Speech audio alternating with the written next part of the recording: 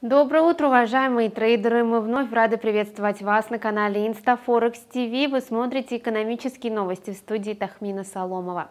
С приближением выходных форекс-трейдеры проявили осторожность. Конец прошлой торговой недели закончился для американской валюты на вполне позитивной волне. Министерство торговли США сообщило о грядущем буме в строительном секторе. За октябрь месяц объем выданных разрешений на строительство резко увеличился на 5,9%. Рынок ждал подъема лишь на 2%. Количество одобренных заявок на начало застройки оказалось максимальным за год.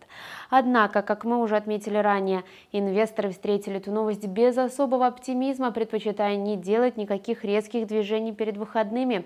График котировки индекса американского доллара остался в узком диапазоне вблизи отметки 93.80. Однако более азартные игроки все же нашли для себя торговый инструмент – валютную пару USD-CAD. Американский доллар покупали, продавая канадский, в результате чего котировка поднялась вверх на 80 пунктов, пробив уровень сопротивления на отметке 1.2820.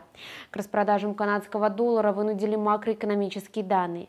В стране кленового листа за октябрь месяц потребительские цены росли в довольно инертном темпе, лишь на 0,1%. Годовой рост цен при этом замедлился с 1,6% до 1,4%.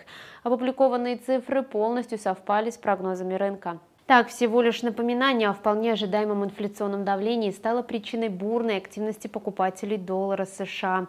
Это все к этому часу. Спасибо, что остаетесь с нами на канале InstaForex TV. До встречи!